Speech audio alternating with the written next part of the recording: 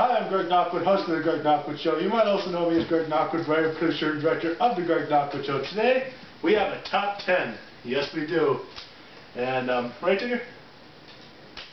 And it's the top 10 things to do in Waigoma. And it's presented by Pam Tony. Welcome to the show, Pam. Thank you, Greg. It's great to have you on. Great to be here. Awesome. You met Tigger? Sure.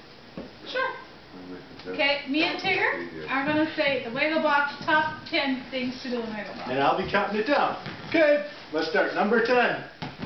Hang out at Rod's One Stuff. Number 9. Go to the fitness center and pretend you're working out. Ah, number 8. Hang out at the fishery and drink coffee. Ah, number 7. Go to the band office and pretend you have a meeting. Ah, number 6. Smile and wave to people even though they don't like you. number 5. Camp outside the welfare office on day. Number 4. Hang out at Rod's.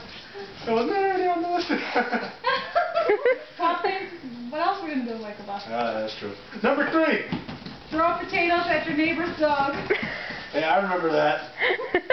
Number 2. Order at five, even though you can enjoy craft dinner at home. and the number one thing to do in Waycobah is? Talk shit about your friends on Facebook. There you go. That's the top 10 things to do in Waycobah. Thanks for being on the show, Pam. Thanks for having me, Greg. And Tigger. You're very welcome. I'm Greg Knockwood and you're not. Hello.